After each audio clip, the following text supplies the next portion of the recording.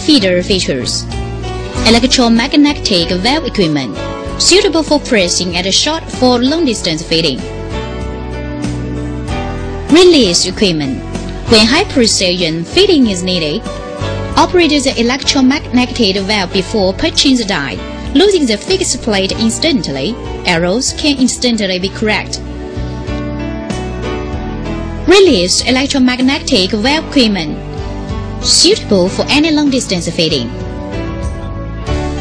Enhance the precision degree, preventing the slipperiness of the materials by strengthening the tension of the migration clamp.